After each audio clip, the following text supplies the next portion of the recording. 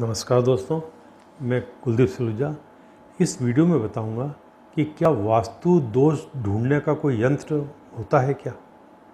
दोस्तों, प्राचीन काल में ऋषि मुनियों ने कोई इस तरह की बात नहीं बताई है, ना किसी ग्रंथ में बात देखने को मिलती कि कोई यंत्र का ईजाद किया गया हो।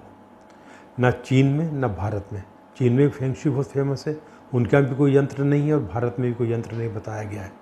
पर आजकल कुछ लोग मानवीय ऊर्जा नापने का एक यंत्र होता है लेकर एंटीना।